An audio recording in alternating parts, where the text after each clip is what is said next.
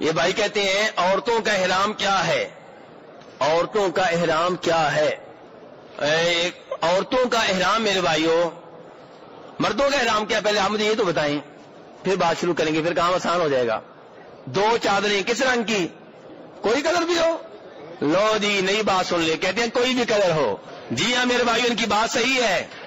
इनकी बात सही है, कोई भी कलर हो। इसलिए अगर मेरे जैसा कोई फकीर आपको लग रहा है जिसने किसी और रंग की चादरें पहनी हुई हो तो उसको घूरना नहीं है। ठीक है? नबी अली सलाम ने कहा है कि दो चादरों में हराम हो मर्द का ये नहीं कहा किस रंग की।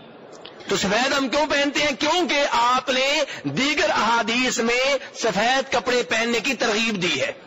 इसलिए हम कहते हैं कि उस हदीस के ऊपर करते हुए एहराम की चादरें भी सफ़ेद हो तो बेहतर है, लेकिन वाजब किसी और रंग की भी हो सकती है।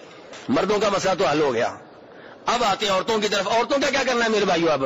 पाकिस्तान, इंडिया में तो काम शुरू हो गया है, दीन की तब्दीली का। वो क्या?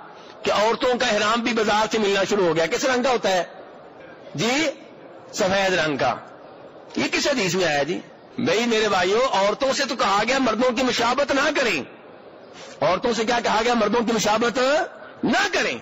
तो मेरे भाई, औरत जौन से कपड़े पहनना चाहे, पहन सकती है। जो उसके आम से कपड़े जो पहले पहनती है, वो पहने। लेकिन शोक कपड़े पहनने से इतनाब करे। ऐसे कपड़े पहनने से इतनाब करे जिसमें बेपर्दगी होती हो। ऐसे कपड़े पहनने से इतनाब करे जिसमें मर्दों की मुशाबत हो या काफरों की मुशाबत हो। बाकी वो कोई भी लिबास पहन सकती है। लेकिन दुराने हराम, उसके हाथ नंगे रहने चाहिए, दस्ताने नहीं पहनेगी। दस्ताने आपके हम पहले भी नहीं पहनाते ये शरीयत उनसे कह रही है, जो शरीयत के ऊपर अमल करके दस्ताने पहनाते थे, हाथों का भी पर्दा करवाते थे।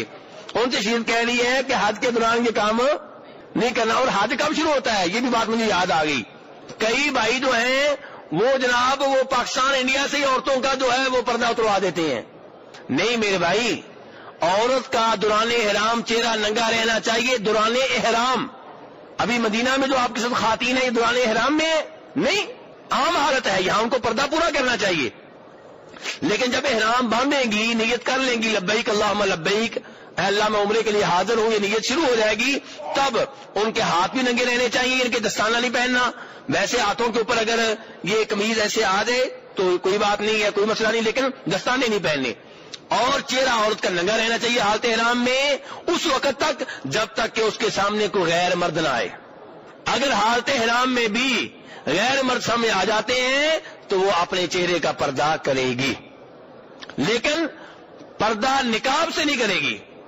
निकाब से नहीं करेगी। निकाब से मुराद क्या है? निकाब से मुराद वो पाकिस्तानी या इंडियन निकाब नहीं है। निकाब से मुराद वो कपड़ा है जो बकायदा चेहरे के साइज़ के मुताबिक तैयार किया जाता था। वो नहीं लेना। आम चादर से वो पर्दा कर सकती है। आम चादर से जब गैर मर्द सामने आ जाए तो पर्दा कर सकती है, लेकिन जब गैर मर्द सामने ना हो तो हालत हराम में औरत का चेहरा नंगा रहना चाहिए। और औरत के बाल हालत हराम में। और वो कहते हैं जी, हालत हराम में औरत के बाल नज़र नहीं आने चाहिए। और हालत हराम के अलावा औरत के बाल कभी भी नज़र नहीं आने चाहिए, किसी जगह भी नज़र नहीं आने चाहिए। ठीक है? और किसी हाल में दीन इजाज़त नहीं दी कि औरत के बाल नंगे हो सकते हैं। किसी हाल में दीन इस बात की इजाज़त नहीं दी। इसलिए मेरे भाइयों, इन उमूर की पाबंदी करनी चाहिए। अल्लाह रब्बुल इज़्ज़त हम सबको इखलास के साथ समझने की, अमल पैरा होने की तौफीक बख्शे। व आखिर दावाना अनिल हम्दुलिल्लाहि रब्बिल आलमीन।